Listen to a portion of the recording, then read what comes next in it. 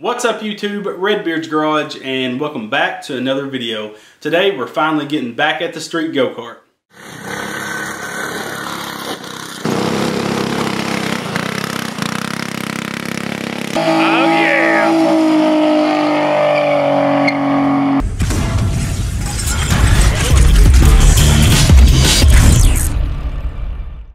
Now I've been actually dreading the street go-kart build, uh, adding more to it for a while. You can see in my last video, which really wasn't a build video, it's just more of an update on it, that I'm pretty frustrated with it. Every time I go to work on this thing, it, it causes problems. So today we're going to just try to get that new engine plate adapted to the frame and maybe even get the engine bolted up. We're going to go ahead and throw the torque converter on that 9 horse and um, hopefully be able to get everything lined up, throw the axle. Um, we got to pull the axle, sand everything down because leaving it out in the rain it has rusted a little bit. So we're going to pull everything off the, the axle, polish it up real nice, and then reassemble everything with the new sprocket because it had a 35 uh, chain sprocket on there and now we're going to put a number 40 chain. So guys, without further ado, let's jump right into this thing. I'm not looking forward to it, but uh, let's bang this thing out so hopefully we can see it run in the next few days. Okay, I'm going to go ahead and take off this oil catch can. So basically what we have to do is uh, have to cut this engine plate off and weld on the larger engine plate because the big block engines take the uh, the wider bolt pattern. And this oil catch can I'm probably not going to reuse on this uh, 9 horse engine. Now I'm taking off all the nitrous hoses because I'm not going to run nitrous at first on this uh, go-kart and we're changing out the steering wheel so I won't have the nitrous uh, mounted on the steering wheel anymore. We're going to switch that up so I can pull all this uh, nitrous line off here. Alright, the next thing we're going to do is take off these axle uh, collars and we're going to drop this axle because we have to pull that number 35 chain or number 35 sprocket off to put the new 40 sprocket on. So we're going to go ahead and take out the three bolts on each side and get this thing dropped.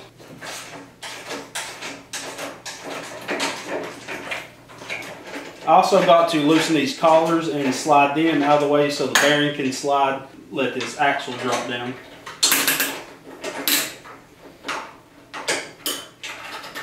Alright, now we have everything loosened up other than the, the bearings. The bearing collars are kind of rusted on there.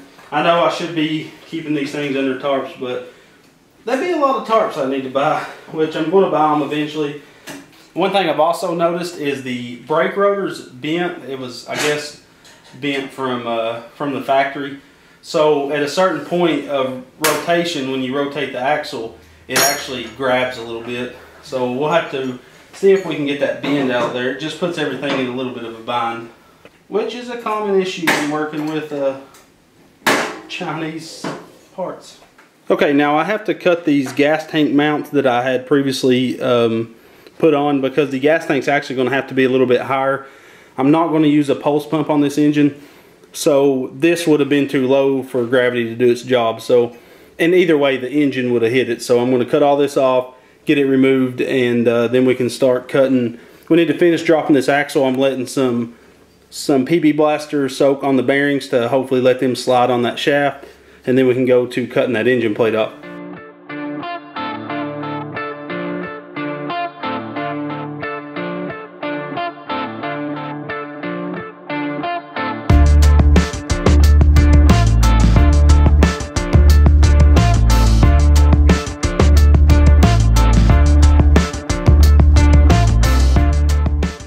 Done. After we get the engine all mounted up, we're going to clean all this uh, old piping up. You got to be real easy with this piping because it's so super thin walled. I am getting all the pipe bent right now to rebuild this whole go-kart exactly like this, just out of quality roll cage piping. So should be pretty sweet to put a bigger engine on. So I just took a hammer and a chisel, like a actually a punch, and I knocked this bearing. It was just seized on from where it had rusted. I'm going to take this whole axle shaft and I'm going to sand it down, make it polished again, and make sure I oil it before setting it outside. So now we can drop this axle down off of these hangers. And we'll, we'll worry about the axle later on. So now we can get to uh, adapting the new engine plate. We're going to cut most of this one off and uh, have to figure out how I'm going to weld that new one on. Alright, now I got to cut this engine plate off to make room for the new engine plate. Only problem is I welded the crap out of this thing. I welded it every place I could possibly get a weld. So what I'm going to do is just cut around this square piping, uh, square tubing, cut all the way around it and just get as much of this engine plate off as possible. And I necessarily don't have to worry about what's left on top of the bars. I can weld over top of it because I think it's going to be way too time consuming to get all that off. So I'm going to go ahead and start cutting all this junk off.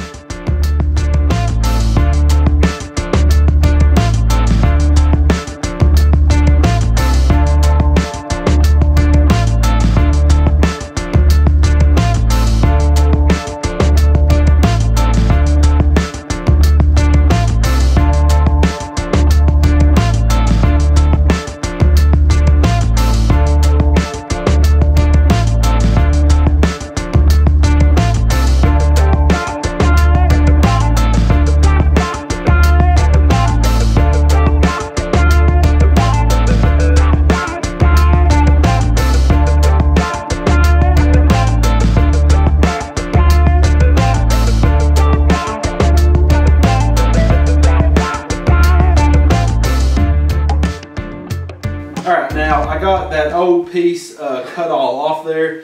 And I tried to cut these welds but it was going to be extremely hard. So what I'm going to do is I notched this new engine plate. You can see I notched the two top corners of this side to fit this really nice.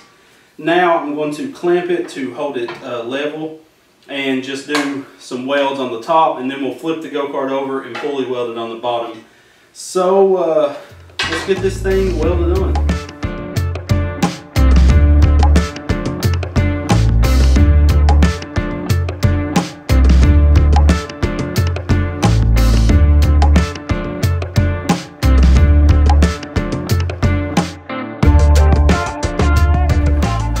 So I flipped this go-kart over to get some good welds, and you can see I had to stack the welds. The reason for that is the old engine plate wasn't welded on as much as I'd liked, so I did a new bead on the old, what was left over of the old engine plate to the frame, and then the new engine plate to the frame as well. I am thinking about going ahead and adding another piece of square tubing right here, and as well right here to stiffen it up, because I feel like this may cause more vibrations uh, along the chassis of the go-kart. This thing badly needs to be sanded and uh, painted. I really didn't care. I was so mad at this go-kart, I didn't even care about really taking good care of it. But we're definitely going to uh, be doing a lot of stuff to this thing, and I really don't want it to, to rust away. So I am going to be sanding, tearing this thing completely down after we ride it a little bit and get everything really fine-tuned and make sure we won't be cutting and welding on it anymore and then we'll do a probably go get it sandblasted and powder coated red. There's a lot of things like these rivets I would like to drill and get rid of and just you know like I did here I put a little bead. I'd like to do that every you know four inches or so on this sheet metal and get rid of all those rivets and then like I said before we're gonna have to cut this front end off and move it forward and this is bent both sides are are kind of bent up so I'm gonna go ahead and get these last two pieces put in there and we're also going to start sanding on that old rusty axle. Okay, I'm going to go ahead and start pulling this axle, everything off of it. Uh, I'm going to pull all the collars off of it and everything uh, just to make sure we get the axle really nicely polished and then I'm going to take something, I'm not sure what yet, and uh, rub down the axle to keep it, kind of prevent it from uh, rusting everything is seized on this. It, it, really drives me crazy that uh, that I left it out there, but can't do nothing about it now. Okay, so we got the axle uh, clamped down to the workbench. I'm going to take some 220 sandpaper and just lay it over the axle like this and pull it back and forth and you can polish an axle in just a few minutes uh, with this method. I'm also, once I get everything polished out, I'm going to feel on the axle and make sure there's no burrs anywheres that would stop uh, any of these hubs or bushings or hubs or these bearings from uh, sliding on the axle. So I'm gonna get this polished up and then we can reassemble everything back onto the axle and throw it back on the go-kart.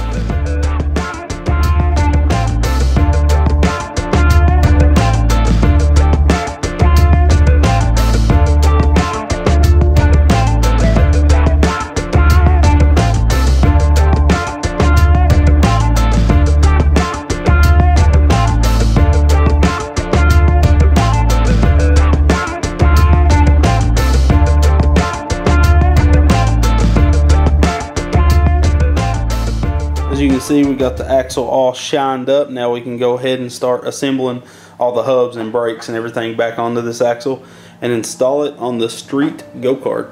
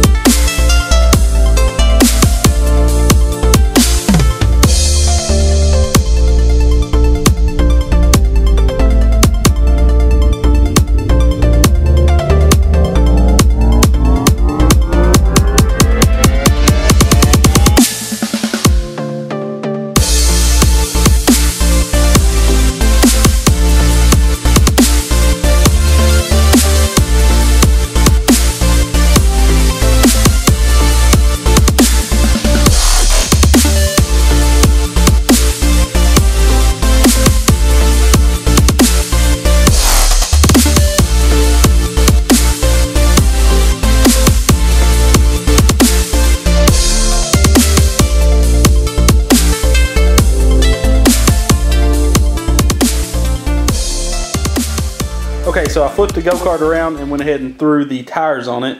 You can see the nine horses all on there. I got the uh, sprocket and everything lined up. I just need to cut my chain down the sides, throw my chain on there, and then I can tension the chain up. Everything looks really nice and clean on this thing though. Only problem I'm having is the exhaust. You can see the studs right there. So if I try to put this exhaust header on, it actually hits the frame right there. That sucks because it's I'm talking it's just a hair away from fitting. So what I may do is bore these um, bolt holes down so I can clock it just a hair and see if I can do it like that. If I can't get it to fit by boring out these holes, then I can actually cut this flange off and then bolt the flange to the engine and clock it how I need to and weld it in place. It would work perfect and be sticking right out the center and that would look pretty sweet with the spooler on there. So for now, I'm going to go ahead and get that chain cut, throw the chain on there, tension up the motor, uh, tension up the chain and tighten down the motor, and uh, everything will be good. I do need to lock this sprocket down as well, tighten the, the set screws on it and put those collars up against it. So let's get this thing done. Okay, so some bad news on the street go-kart. I forgot to check and make sure the tires was taller than the sprocket and they're indeed the same exact size. I have a different sprocket for this but I wanted to put this one on it so it'd be really torquey. So this means I got to remove the motor which it isn't you know tightened down the bolts are in it but they're not you know torqued down or anything but I got to pull the whole freaking axle. This really really sucks. Sucks. Sucks. So I'm going to pull that axle again and put the new one on it. I can't remember what teeth this one is, but um, probably like a 50 or a 55. So we're going to get some really good top end, but I wanted this thing mostly for torque. So I guess I'm going to start pulling the axle and swap that sprocket out. Okay, so I got the sprocket all switched out. You can see it on there. Now the only thing I have to do is the chain is actually hitting that rear pulley. You can see it's kind of pushed to the side. So I'm going to have to pull the rear pulley off and put a, uh, a spacer or a washer behind it. Then I'll have to do the same thing with the front pulley to get it aligned back up. Once we get the torque converter all set up, we can uh, tension up the chain and bolt the engine down and then address that exhaust problem that we're having with it hitting the frame. I got to figure out what I want to do about it. And I am going to put the original gas tank back on top of this engine. There's no point in me making some type of a bracket to bolt the gas tank up to the frame. I'm just going to bolt that original one back on there. It might not look pretty at first, but this whole go-kart don't look pretty. It's all uh, tattered up and got a bunch of raw metal on it. And I know I need to prime it, but I just got so much more stuff I want to do to this. I don't want to prime it and then have to sand it down uh, if I need to weld some more stuff in the future. Another problem is the air filter actually hits the frame right here no matter how you put it. So what I'm going to do is go to Napa and get a 90 uh, piece of radiator hose that'll fit this and then run the air filter sticking out of the back. I think it'll look pretty sweet because of my, my plans I have on the exhaust at a later date. We're just going to get this exhaust working on there so we can ride it and see how this motor performs.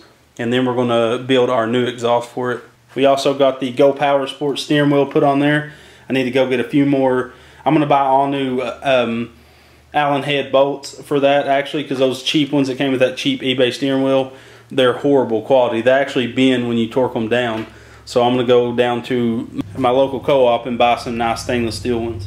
I am going to order off Amazon uh, a carbon fiber trim piece like this and horn button to go on the Go Power Sport steering wheel because this old steering wheel is actually going to go on the, the parts wall. So, so I can add a little bit more bling to my wall up there. Okay guys, as always, the thing fought me every chance it got.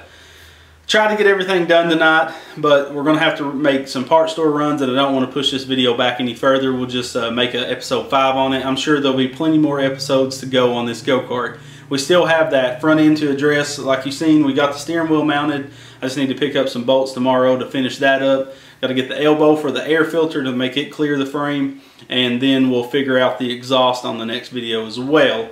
Uh, I'm going to space that um, rear pulley out with some washers. I'll do that on the next video. I just want to kind of get this one up. I feel like I've got enough footage. Um, I don't like stretching these videos out too long. Guys, tell me what you think of this street go-kart. It's, it's definitely got a curse to this frame. I don't know what happened on this frame, but uh, definitely something did because it's haunting me, that's for sure. Uh, don't forget to check out Go Power Sports Guys. Get all your go-kart parts from there. Use that discount code REDBEARD. They'll really help you out if you have any questions or any problems with their products. And check us out on Facebook. And don't forget to like, comment, and subscribe and share these videos. It helps us out a lot, guys. Got some big giveaways coming up, so make sure to stay tuned. And uh, Adam Coker, if you're watching, please uh, hit me back on that performance kit you won. Uh, I'm going to give you a few more days, and if, if he doesn't ever reply back, then I'm going to pick another winner and send that thing out to you guys. Uh, definitely don't want it sitting around not getting used. But guys, you know the drill. Always come back to Red Beard's Garage. I'm out.